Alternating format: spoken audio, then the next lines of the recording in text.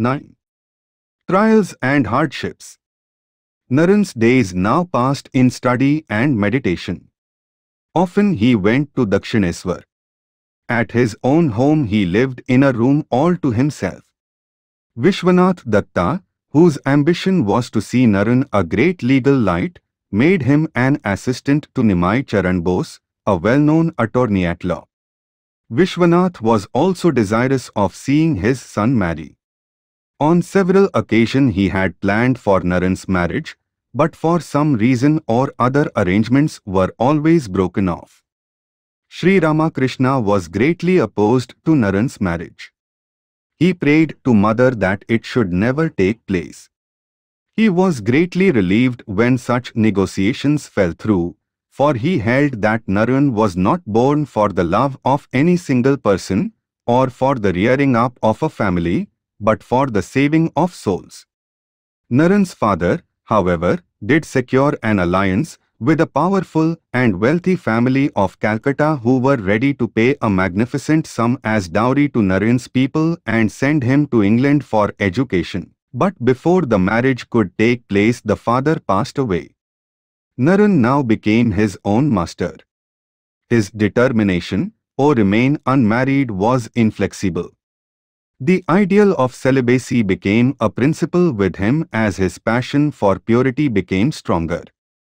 And when the members of the family would press him to lead the householder's life and repeatedly urged him to marry, he said to them with vehemence, What, are you going to drown me?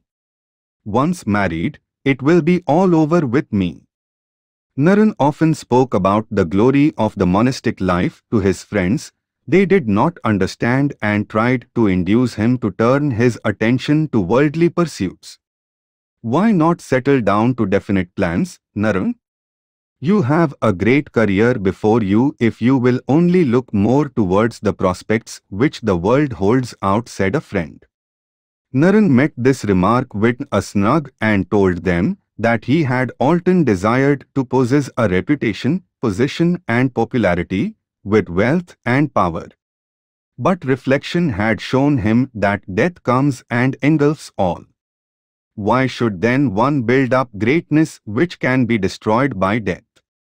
The life of the monk is really great for he seeks to push aside the power of death. He seeks a changeless reality, while the world deals with and falls with the conditions of change. The friends were not convinced. The trouble is, said one of them, that Naren has met an old man who goes into trances and lives a monk's life in the grounds of the Kali temple at Dakshineswar on the banks of the Ganga. He is always meditating and talking about God and knows nothing about the world. This man is upsetting all of Naren's ambitions and is turning his mind from worldly affairs and ruining his future. The name of this old man is Ramakrishna Paramahamsa. Naren, if you have any sense, give up going to see him. It is hampering your studies and it will ruin your whole future if you continue. You have great talents. You can attain anything if you set your will to it and give up going to Dakshineswar. Naren replied very gravely, You see, you do not understand. I myself do not understand. No, even I do not understand, but I love that old man, that saint, Sri Ramakrishna. If Narendra did not go to Dakshineswar for several days, the master would come to his disciple in Calcutta when he would give Naren counsel regarding meditation and other spiritual exercises. He was afraid that Naren, unable to bear the importunities of his parents and relatives, would accept the bondage of married life. He often encouraged him to live the strict life of Brahmacharya and said one day, a man develops subtle power as a result of strict observance of the vows of celibacy for 12 years. Then he can understand and grasp very subtle things which otherwise elude his intellect. Through that understanding the aspirant can get direct revelation of God. That pure understanding alone enables him to realize truth. The ladies of the family concluded that Narayan was averse to marriage as a result of his intimacy with Sri Ramakrishna.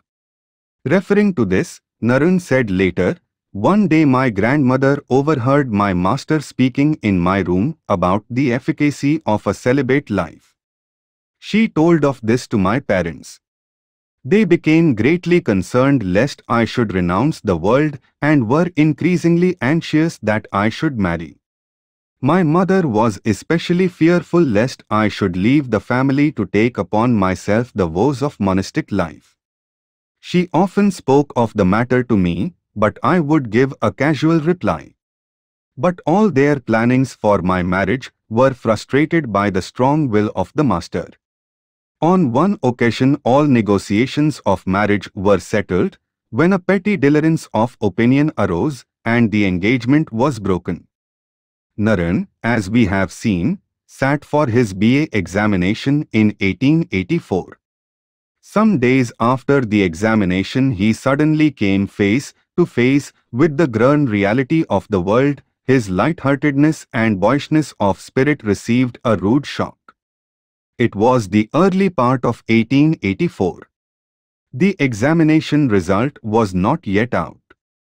He had gone one evening about two miles from the city of Calcutta to visit a friend at Barnagore. It was night and there was much talk. Just as the merriment and song were at their height, a messenger came from Narayan's home with the news that his father had died suddenly of heart disease. The news overwhelmed Narayan. He hastened at once to Calcutta. The mother, the two sisters, and two younger brothers of Narayan were waiting and weeping. Narayan was dazed. He could neither weep nor speak. According to custom he performed the last rites for his father. Vishwanath's sudden death placed the entire family in a desperate condition for he was the only earning member and always spent more than he earned. The creditors knocked at the door. Relatives who had been indebted to his father in so many ways now turned into enemies. They even resolved to deprive the family of its living quarters. Though Narendra had no income, he was compelled to maintain seven or eight persons. Came days of suffering. From comfort Narayan was suddenly thrown into the direst poverty, facing at times even actual starvation.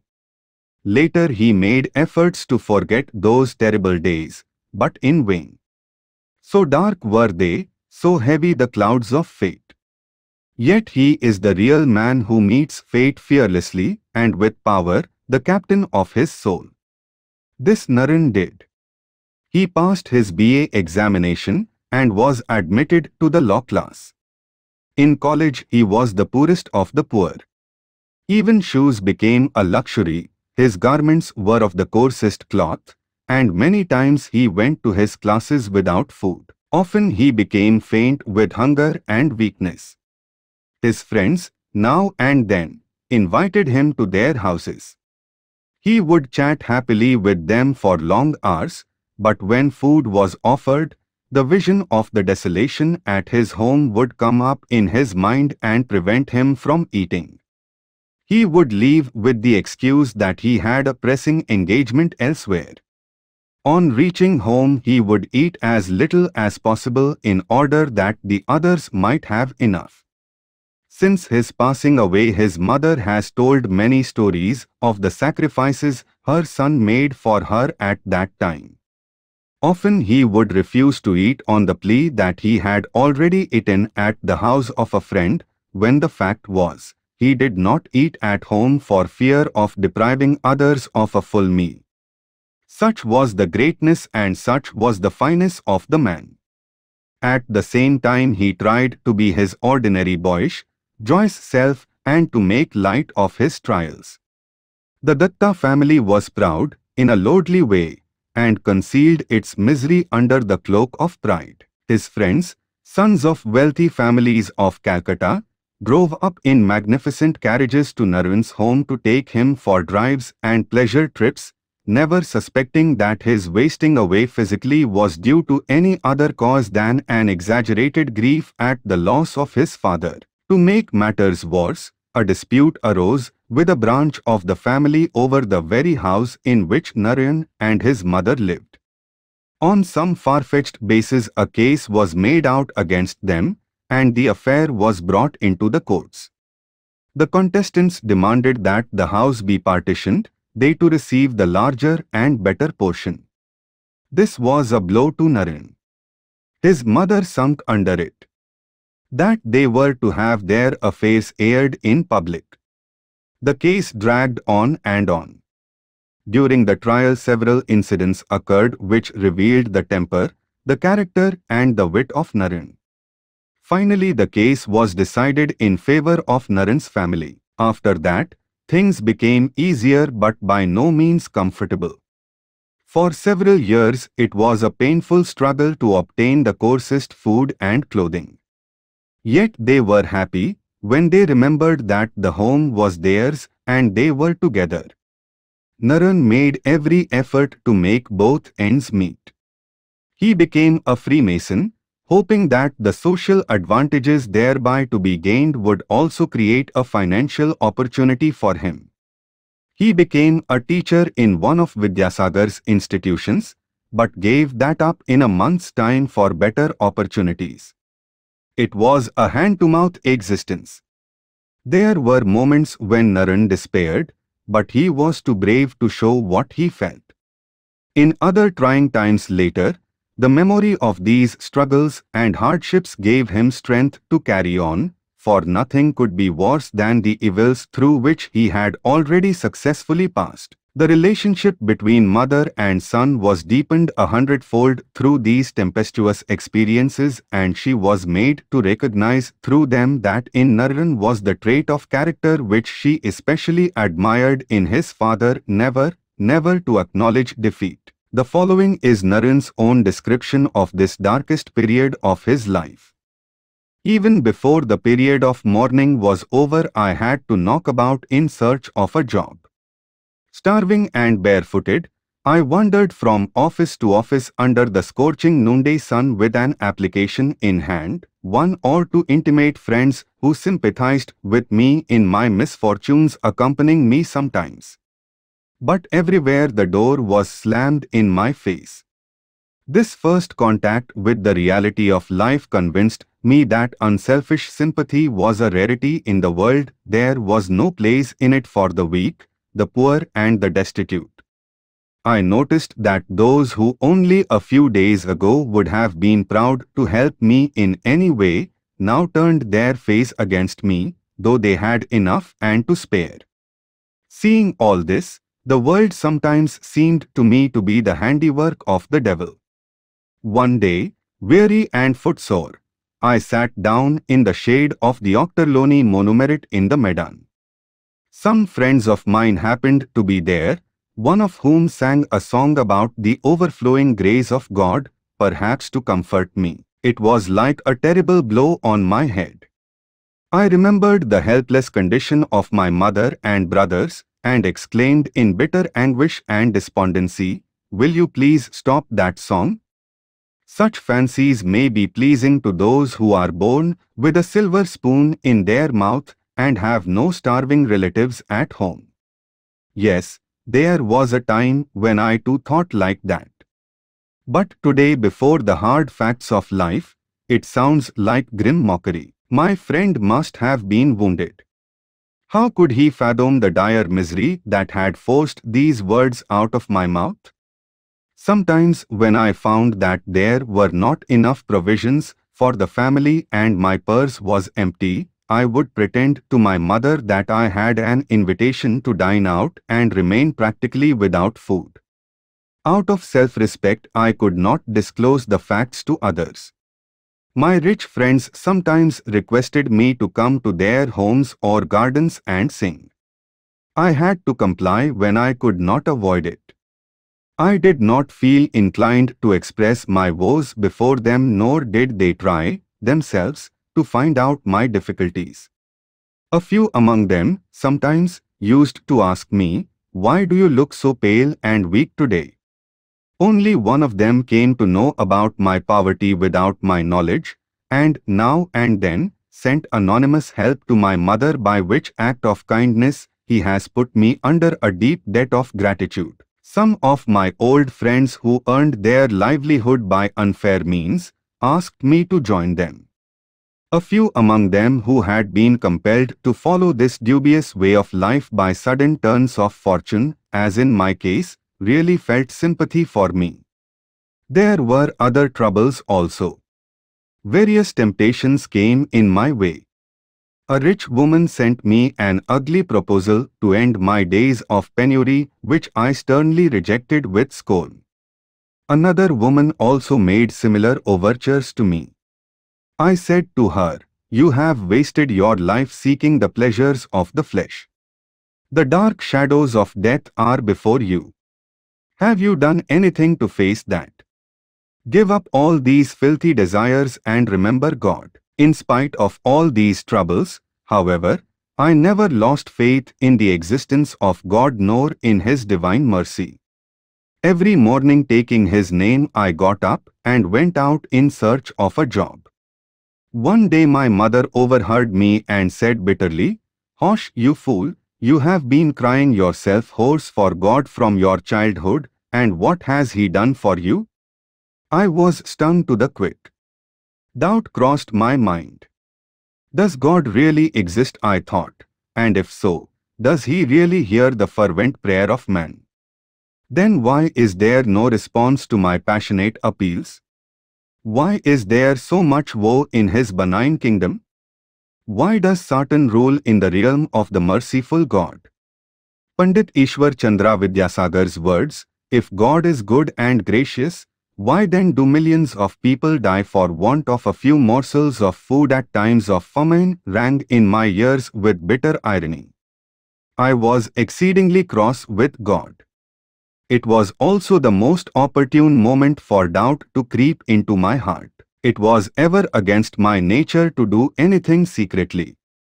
On the contrary, it was a habit with me from my boyhood not to hide even my thoughts from others through fear or anything else.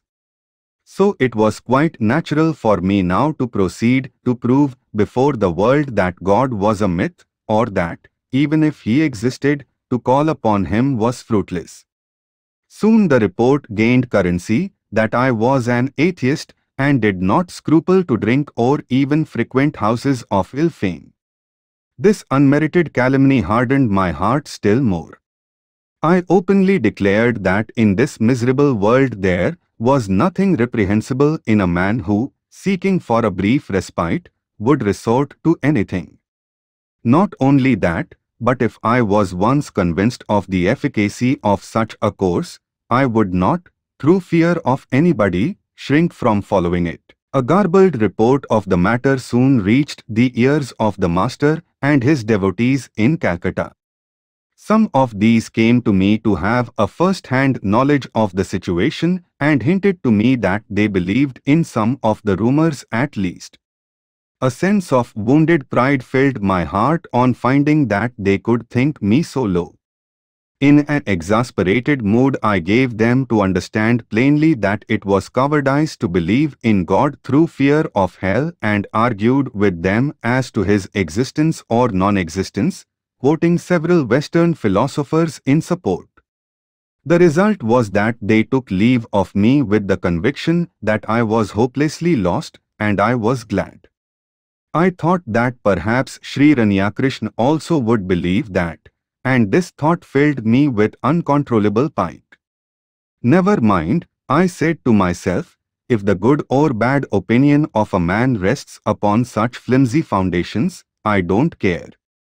But I was amazed to hear later that the master had, at first, received the report coldly, without expressing an opinion one way or the other. And when one of his favorite disciples, Bhavanath, said to him with tears in his eyes, Sir, I could not even dream that Narendra could stoop so low. He was furious and said, Hosh, you fool, El, the mother has told me that it can never be so. I shan't be able to look at you if you speak to me again like that. But notwithstanding these forced atheistic views, the vivid memory of the divine visions I had experienced since my boyhood, and especially after my contact with Sri Ramakrishna, would lead me to think that God must exist and that there must be some way to realize Him. Otherwise life would be meaningless. In the midst of all troubles and tribulations I must find that way. Days passed and the mind continued to waver between doubt and certainty. My pecuniary wants also remained just the same. The summer was over and the rains set in. The search for a job still went on. One evening, after a whole day's fast and exposure to rain, I was returning home with tired limbs and a jaded mind, overpowered with exhaustion and unable to move a step forward. I sunk down on the outer plinth of a house on the roadside. I can't say whether I was insensible for a time or not. Various thoughts crowded in on my mind, and I was too weak to drive them off and fix my attention on a particular thing. Suddenly I felt as if by some divine power the coverings of my soul were removed one after another. All my former doubts regarding the coexistence of divine justice and mercy and the presence of misery in the creation of a blissful providence were automatically solved. By a deep introspection I found the meaning of it all and was satisfied. As I proceeded homewards I found there was no trace of fatigue in the body and the mind was refreshed with wonderful strength and peace. The night was well nigh over. Henceforth I became deaf to the praise and blame of worldly people. I was convinced that I was not born like humdrum people to earn money and maintain my family, much less to strive for sense pleasure. I began secretly to prepare myself to renounce the world like my grandfather. I fixed a day for the purpose and was glad to hear that the master was to come to Calcutta that very day. It is lucky I thought. I shall leave the world with the blessing of my Guru as soon as I met the master. He pressed me hard to spend that night with him at Dakshineswar. I made various excuses, but to no purpose. I had to accompany him. There was not much talk in the carriage. Reaching Dakshineswar, I was seated for some time in his room along with others when he went into a trance. Presently he drew near me and touching me with great tenderness, began to sing a song with tears in his eyes. I had repressed my feelings so long, but now they overflowed in tears. The meaning of the song was too apparent, he knew of my intentions. The audience marveled at this exchange of feeling between us. When the master regained his normal mood, some of them asked him the reason of it, and he replied with a smile, Oh, it was something between him and me. Then at night he dismissed the others and calling me to his side said, I know you have come for the mother's work and won't be able to remain in the world. But for my sake, stay as long as I live saying this he burst into tears again. The next day with his permission I returned home. A thousand thoughts about the maintenance of the family assailed me. I began to look about again for a living. By working in an attorney's office and translating a few books, I got just enough means to live from hand to mouth, but it was not permanent and there was no fixed income to maintain my mother and brothers. One day the idea struck me that God listened to Sri Ramakrishna's prayers so why should I not ask him to pray for me for the removal of my pecuniary wants, a favor the master would never deny me? I hurried to Dakshineswar and insisted on his making the appeal on behalf of my starving family. He said, My boy, I can't make such demands. But why don't you go and ask the mother yourself? All your sufferings are due to your disregard of her. I said, I do not know the mother. You please speak to her on my behalf. You must. He replied tenderly, My dear boy, I have done so again and again. But you do not accept her, so she does not grant my prayer. All right, it is Tuesday, go to the Kali temple tonight, prostrate yourself before the mother and ask her any boon you like.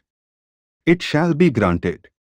She is knowledge absolute, the inscrutable power of Brahman, and by her mere will has given birth to this world. Everything is in her power to give. I believed every word and eagerly waited for the night. About nine o'clock the master commanded me to go to the temple. As I went, I was filled with a divine intoxication. My feet were unsteady. My heart was leaping in anticipation of the joy of beholding the living goddess and hearing her words. I was full of the idea. Reaching the temple, as I cast my eyes upon the image, I actually found that the Divine Mother was living and conscious, the perennial fountain of divine love and beauty. I was caught in a surging wave of devotion and love. In an ecstasy of joy I prostrated myself again and again before the mother and prayed, Mother, give me discrimination. Give me renunciation. Give unto me knowledge and devotion. Grant that I may have an uninterrupted vision of Thee. A serene peace reigned in my soul. The world was forgotten. Only the Divine Mother shone within my heart. As soon as I returned, the master asked me if I had prayed to the mother for the removal of my worldly wants. I was startled at this question and said, No, sir, I forgot all about it. But is there any remedy now? Go again, said he, and tell her about your wants. I again set out for the temple, but at the sight of the mother again forgot my mission, bowed to her repeatedly and prayed only for love and devotion. The master asked me if I had done it the second time. I told him what had happened. He said, How thoughtless! Couldn't you restrain yourself enough to say those few words? Well, try once more and make that prayer to her. Quick! I went for the third time, but on entering the temple a terrible shame overpowered me. I thought, what a trifle I have come to pray to the mother about. It is like asking a gracious king for a few vegetables. What a fool I am.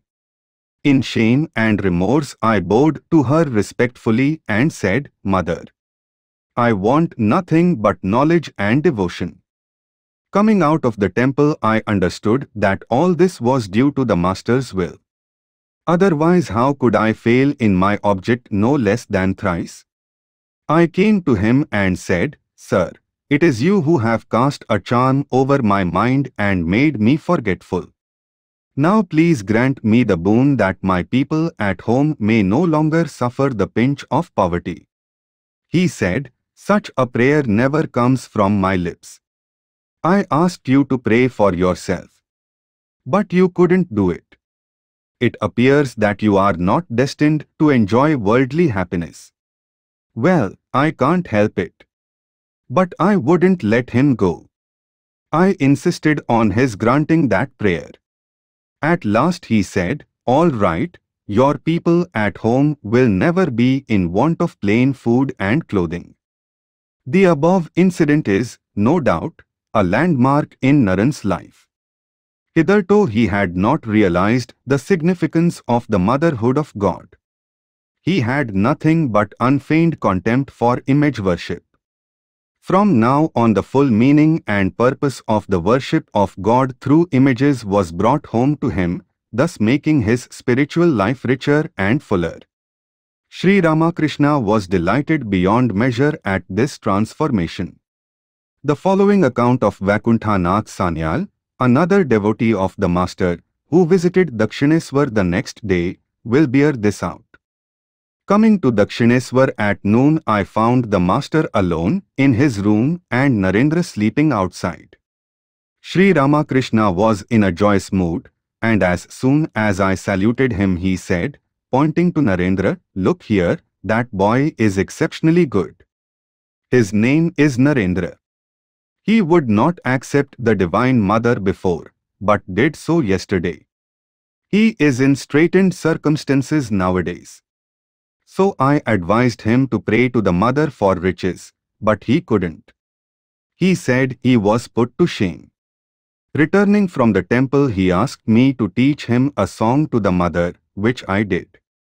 The whole of the last night he sang that song. So he is sleeping now then with an unfeigned delight he said, Isn't it wonderful that Narendra has accepted mother? I said, yes. After a brief pause he repeated the question, and thus it went on for some time. At about 4 o'clock Narendra came to Sri Ramakrishna before leaving for Calcutta. But no sooner had the master seen him than he came closer and closer to him and sitting almost on his lap said, pointing first to himself and then to Narendra, Well, I see I am this and again that.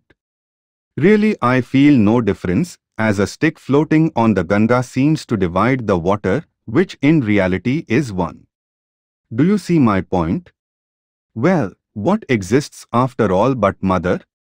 What do you say? After talking a few minutes like this, he wished to smoke. I prepared tobacco and gave him the hookah. After one or two puffs at it he said he would smoke from the chillum pipe. Then he offered it to Naren saying, Tull at it through my hands. Naren of course hesitated. How could he defile the hands of his Guru by touching them with his lips? But Sri Ramakrishna said, What foolish ideas you have. Am I different from you? This is myself and that too is myself. He again put forth his hands towards the lips of Narendra, who had no alternative but to comply with his request. Narendra took two or three puffs. Sri Ramakrishna was about to smoke when Narendra hurriedly interfered saying, Please wash your hands first, sir. But his protest was in vain. What silly ideas of differentiation you have, the master said and smoked without washing his hands, talking all the while in an exalted mood. I was surprised to see Sri Ramakrishna, who could not take any food part of which had already been offered to somebody else, making this remarkable exception in the case of Narendranath. It gave me an idea of his love and kinship to Narendra. When, at about 8 o'clock, he was in his normal mood again. Narendra and myself took leave of him and walked to Calcutta. Afterwards, Narendra often said, Sri Ramakrishna was the only person who, ever since he had met me, believed in me uniformly throughout, even my mother and brothers did not do so. It was his unflinching trust and love for me that bound me to him forever. He alone knew how to love another. Worldly people only make a show of love for selfish ends.